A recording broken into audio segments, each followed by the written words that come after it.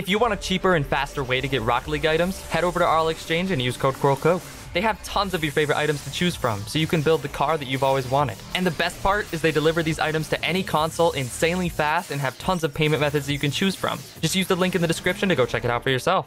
Hello everyone, welcome back to another video and happy Halloween. Today we are checking out the brand new items in the Rocket League item shop because there is some bangers in there today. But before we get into that, I do want to remind you guys that every thousand subs on this channel, we give away a titanium white octane to one of you. And all you have to do to enter is subscribe to the channel and comment something down below. But like I said, today's the Halloween item shop and boy, it's a good one. We've got Black Reaper Inverteds. Uh, I already have those. We've got Titanium White Vampire Bat Import Goal Explosion for 800 credits. I'm gonna pick that up, obviously.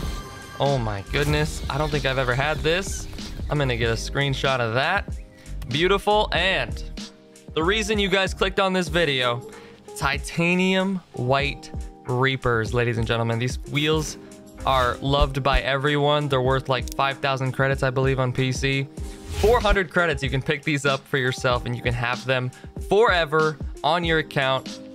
Obviously, if you're going to pick up any of these items, make sure to use code CoralCoke, you know? Support your boy, helps me out a lot. But we are going to pick these up, of course. Man, this might be one of the best item shops we've ever had in Rocket League history. And I'm not exaggerating. That's White Vampire Bat, White Reapers. Wow, okay. Then we got Grimalkins for 200 credits. We got Scary Pumpkin Rocket Boost for 200 credits. I have both of those.